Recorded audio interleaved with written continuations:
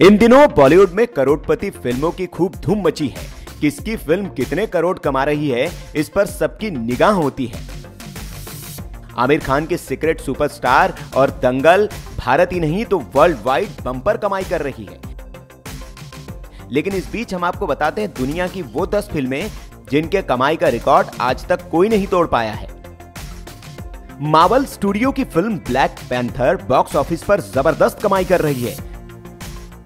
Film ने महज पाँच दिनों के अंदर दुनिया भर में लगभग तीन हज़ार करोड़ रुपए की कमाई कर ली है।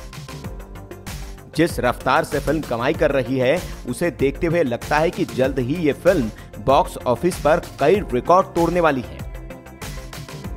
लेकिन देखना दिलचस्प ये होगा कि क्या ये फ़िल्म दुनिया की उन 10 फ़िल्मों का रिकॉर्ड तोड़ पाएगी जो सबसे ज़्यादा कमाई करने वाली है।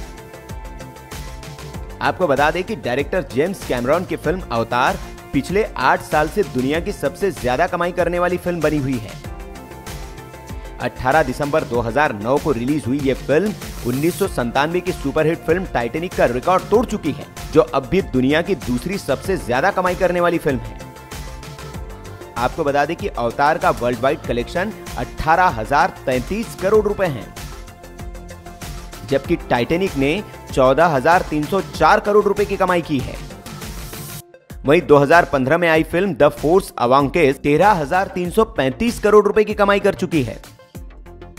इसके साथ ही जुरासिक वर्ल्ड का भी वर्ल्ड वाइड कलेक्शन 10,828 करोड़ रुपए है। 2012 में आई फ़िल्म द एवेंजर्स ने 9,842 रुपए की वर्ल्ड वाइड कमाई की है। साथ ही साथ फ्यूरियस के कई सारे पार्ट्स आपने देखे होंगे लेकिन फ्यूरियस सेवन ने ज़बरदस्त कमाई की थी। और इसने नौ करोड़ रुपए वर्ल्ड वाइड कमाए। वहीं 2011 में आई film Harry Potter and the deathly hallows के सेकेंड पार्ट ने वर्ल्ड वाइड नौ करोड़ रुपए की कमाई की है। 2005 में आई एवेंजर्स एज ऑफ़ अल्ट्रॉन ने भी 9,121 करोड़ रुपए कमाए हैं। Star Wars the last Jedi 2017 में रिलीज़ हुई थी जो अब तक 8,571 करोड़ रुपए वर्ल्ड वाइड कमा चुकी है। 2013 में आई फ़िल्म फ्रोजन भी आठ हज़ार दो सौ तिरपन करोड़ रुपए की कमाई कर चुकी है। अब देखना यह होगा कि ब्लैक पैंथर इन सारे रिकॉर्डों को ध्वस्त कर क्या नंबर वन पर पहुँच पाती है।